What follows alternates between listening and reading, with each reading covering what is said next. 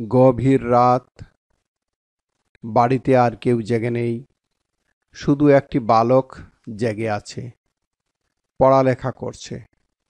পাশের একখানা বিছানায় তার মা ঘুমিয়ে আছেন। নীরব, নিস্তব্ধ পরিবেশ। হঠাৎ ঘুম থেকে জাগলেন ছেলেটির মা। ছেলেকে ডেকে বললেন, বাবা, বড়ই পিপাসা পেয়েছে। পানি দাও। আবার চোখ বন্ধ করলেন। ঘরের কোণে রাখা কলসিতে ছেলেটি দেখল, পানি নেই। গড়ে পানি নেই, কি করবে ক্ষণিক ভাবল। সবাই ঘুমে অচেতন। পানির জন্য কাকে জাগাবে? কার ঘুমে ব্যাঘাত ঘটাবে? যদি তাদের ঘরেও পানি না থাকে, মায়ের তৃষ্ণা মিটাবে কীভাবে? যে করেই হোক, মায়ের তৃষ্ণা মিটাতেই হবে। এ যে মায়ের আদেশ। গ্রাম থেকে অনেক দূরে ঝর্ণা। গভীর অন্ধকার রাত।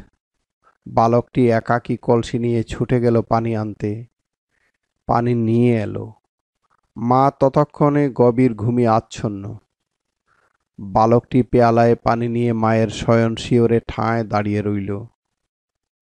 মা গুরুজন, ঘুম ভাঙালে অপরাধ হবে। কখন মায়ের ঘুম ভাঙে, এই তার প্রত্যাশা। প্রবাত হলো, পূব আকাশ ফর্সা হলো, ধীরে ধীরে আদার দূর হলো, পাখিরা ডেকে উঠল, মাও চোখ খুললেন। দেখলেন শিওরে দাঁড়িয়ে আছে তার দশ বছরের ছেলেটি। পানি পেয়ালা তার হাতে কেন? প্রথমে মা বুঝতেই পারলেন না। সহসা মনে পড়ল, গভীর রাতে তিনি পানি চেয়েছিলেন। মায়ের মনে কষ্ট হলো। চোখের পানি আর ধরে রাখতে পারলেন না। আহা, ছেলেটি পানি নিয়ে সারা রাত দাঁড়িয়েছিল, একটু ঘুমোয়নি। মা ছেলেকে কোলে তুলে নিলেন, আদর করে বারবার চুমু খেলেন, দোয়া করলেন। ছেলেটি যেন জগতের বন্দনাযোগ্য মহাপুরুষ হয়।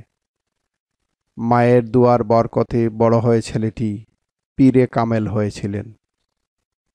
বন্ধুরা, তোমরা জানো এই ছেলেটি কে ছিলেন?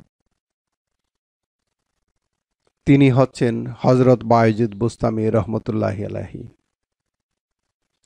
কাবেরা বড়দের কথা মেনে চলে। এই কাপ স্কাউট আইনের সাথে উপাকানটির সম্পর্ক রয়েছে।